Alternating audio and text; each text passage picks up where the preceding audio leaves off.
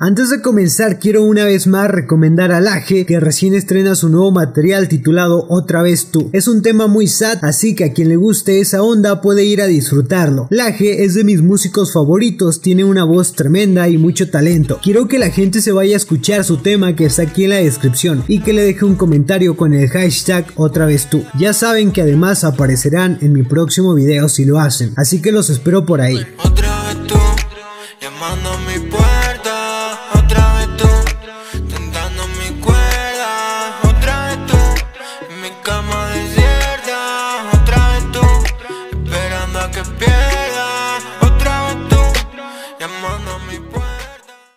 Ahora sí ya comenzamos y de principio les tengo algo que la gente me pedía desde hace ya varios días. Resulta que por ahí hubo coincidencias entre los lugares, la ropa, los momentos y pequeños detalles así entre Nicky Nicole y Trueno. Les dejaré por aquí un video que me mandaron donde los seguidores se dieron cuenta de algunas similitudes.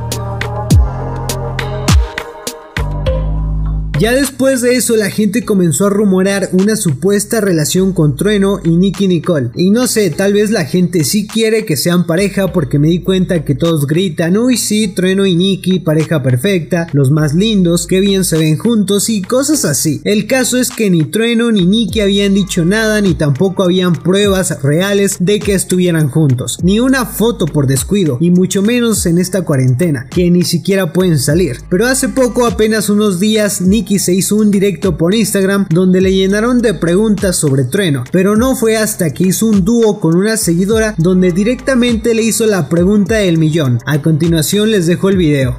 ¿Te puedo hacer una pregunta? si no te enojas. No, vos preguntame y yo te respondo. Eh, ¿Conoces a Trueno? Sí, lo conozco.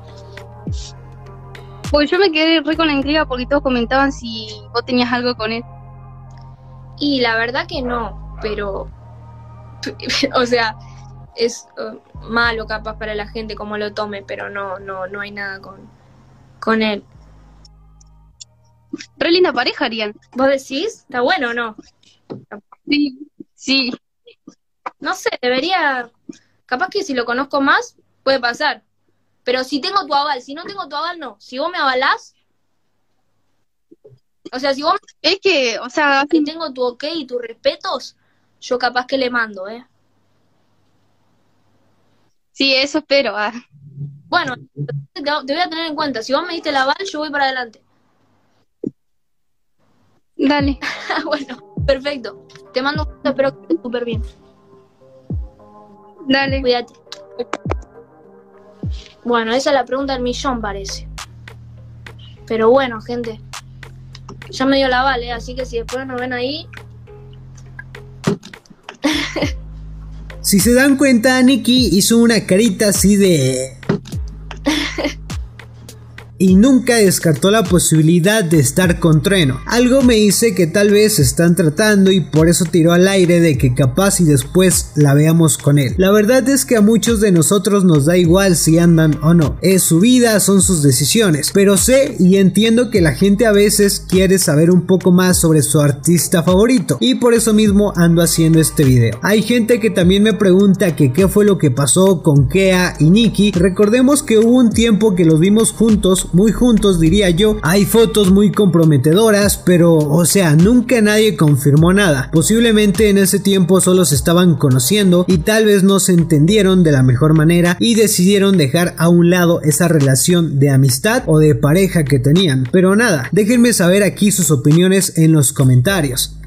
Luego también hay otra situación que causó indignación por la nueva canción entre Duki y Kid Keo. También está Juicy pero él no tiene nada que ver, así que no lo vamos a meter. Para que me entiendan, tenemos que retroceder al 2018 cuando había explotado recién la controversia entre Keo y Duki. Todos ya se la saben, sucedió por un comentario de Keo al decir que Duki sonaba igual que él. Duki no se quedó callado y se tiraron mil y un veces por historias de Instagram. En 2019 todo se calmó y ahora en 2020 tuvimos repetidas ocasiones donde tanto Keo como Duki hablaron bien y tranquilamente diciendo que ahora no había problemas y hasta abrieron la posibilidad de grabar juntos. Keo durante el stream solidario de Coscu reveló que le hablaría a Duki y a CRO para colaborar. Keo reveló que tenía pensado hacer el remix a 24 horas con ellos dos. Curioso que ahora el tema de Duki y Keo se llame 24. Pero bueno, después de todo, ahora que ya por fin salió esa colaboración, hubo gente que salió a decir que la escena se estaba llenando de hipocresía. Me mandaron un video del 2018 donde Keo se burlaba de Duki en medio de un show. No les voy a poner el video porque dicen groserías y ya saben que YouTube es family friendly, así que me reservaré a compartirlo porque luego me marcan el video como inapropiado. A todo esto, como lo dije antes, se comenzó a decir que hay hipocresía por todos lados, que los reales ya son muy pocos y cosas así. Yo entiendo por qué esa gente puede llegar a pensar de esa manera. Eso depende de tu cultura porque así como hay gente que no le gustó esa combinación, hay gente que ya la esperaba desde un chingo de tiempo atrás, independientemente de que si el tema estuvo bueno o estuvo malo. Todo depende de uno cómo lo quiera tomar. Y si un pibe sabe que él viene de barrio y que no lo representa el hecho de que un rapero en un principio tuvo bardo con otro y que al final terminen haciendo un tema juntos, se respeta. Para mí se debe de respetar esa opinión. Así que bueno, ya por último solo les puedo decir que disfruten la música y que si este tema no les gustó, ya vendrá otro que sí les va a gustar.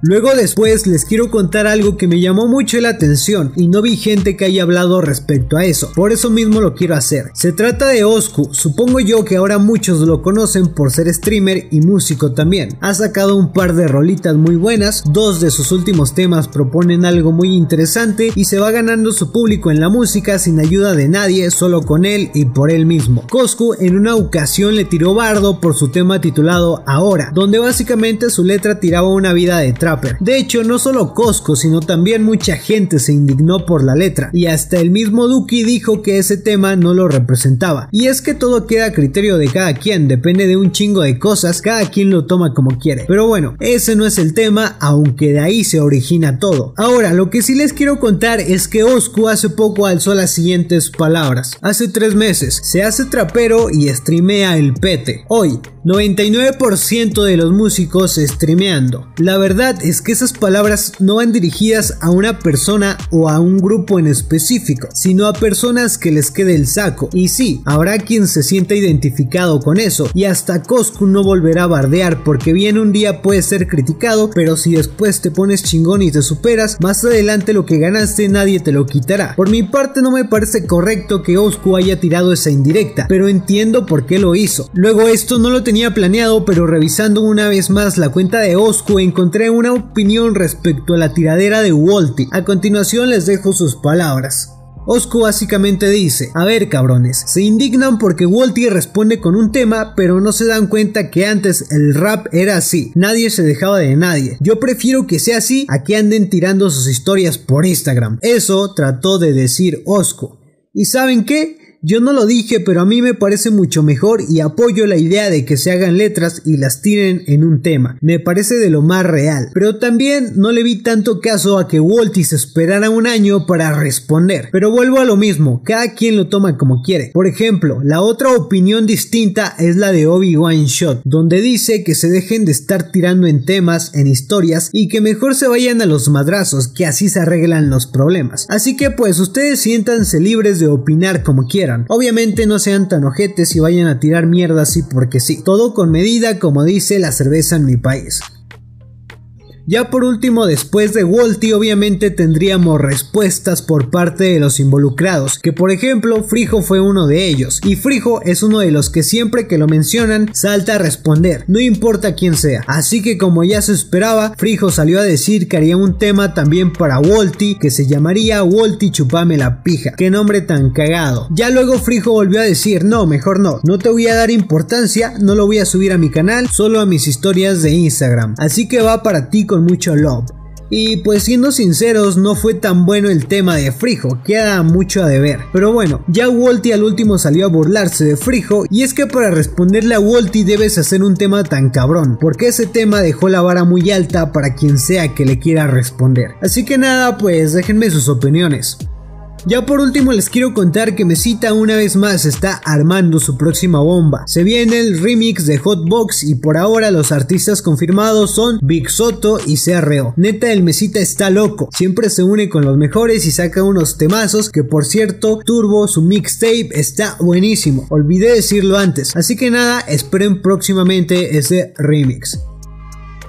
De mi parte esto sería todo, muchas gracias por ver el video, recuerden seguirme en Instagram, en Facebook y seguir mi playlist de Spotify que está aquí en la descripción. Encontrarán todas mis redes aquí en la descripción y también encontrarán mi contacto de publicidad. Nos vemos en el próximo video. Chao.